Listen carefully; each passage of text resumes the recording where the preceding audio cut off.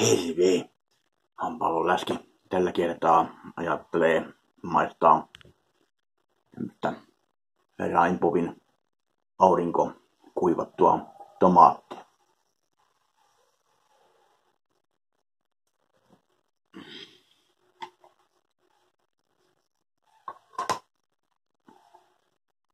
Ei ole kyllä hirveän herkullinen tuoksu.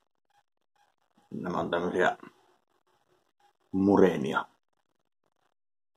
Ja oikein öljy, öljyisiä. No, maistetaan.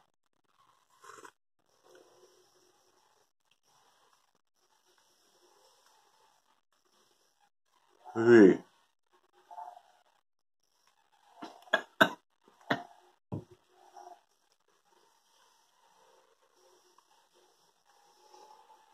Nämä onko oikein pahoja luumuja oi.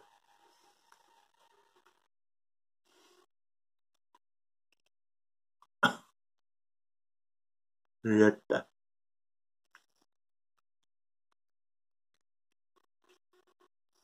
En kyllä suosittele näitä kellekään.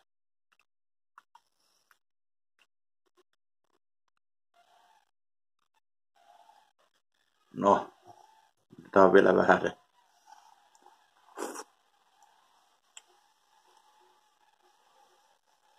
Joo ei.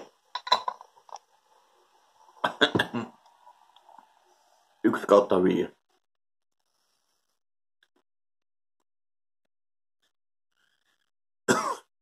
ei, ei ollenkaan hyvä. No, tietääpä olla tommosia ostelematta. Mutta jotta ruoka ei olisi liian terveellistä, niin otetaan pieni sittisola.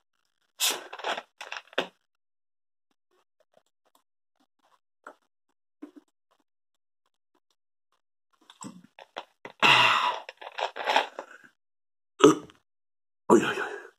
Tekipä se hypy. Noin. Oikein hyvää yötä sinne kaikille. Se on morjes.